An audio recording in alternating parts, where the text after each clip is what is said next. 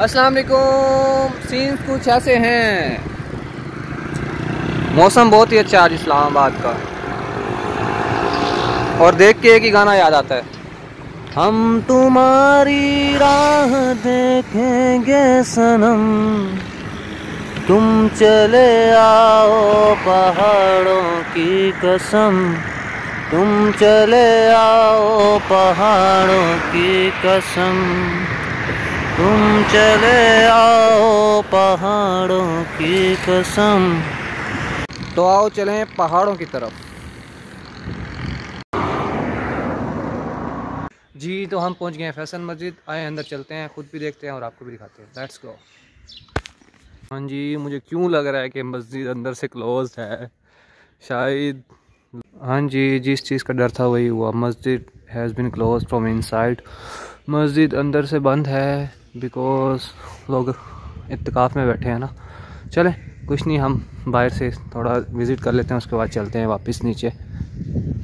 हाँ जी तो हम पहुँच गए हैं दामने को। आए, चलते हैं व्यूज़ देखते हैं।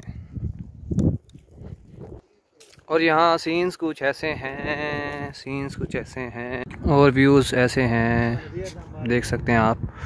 वो फैसल मस्जिद है, ये संटोरस मॉल है, और ये पूरा सिटी है। उधर रावल लेक आ जाता है और इसके साथ ये रेड जोन है। और ये आप जूम में कर रहा हूँ चेक करें।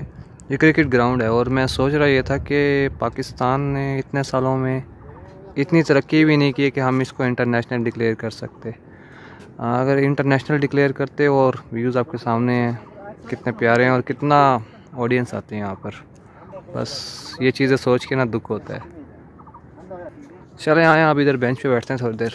हाँ यहाँ बैठ के थोड़ा टाइम गुजारते हैं फिर चलते हैं नीचे। जी नाजरीन तो ये था आज का व्लॉग उम्मीद करते हैं आपको पसंद आया होगा। इन नेक्स्ट मुलाकात होती है न्यू व्लॉग में। अब मैं थोड़ी सी क्रिकेट खेल